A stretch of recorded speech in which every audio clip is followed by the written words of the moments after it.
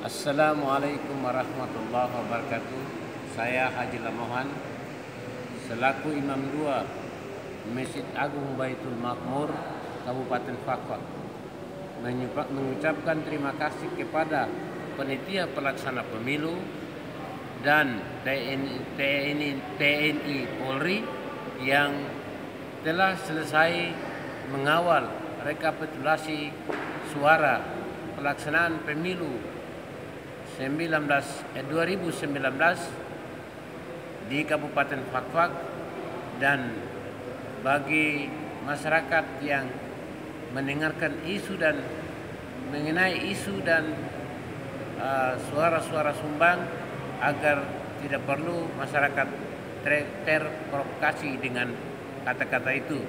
Dan dari tempat ini pula saya menyampaikan uh, selamat melaksanakan ibadah puasa bagi umat Islam di Kabupaten Fakfak dan di mana saja. Semoga amal kita dapat diterima oleh Allah Subhanahu wa taala. Wassalamualaikum warahmatullahi wabarakatuh.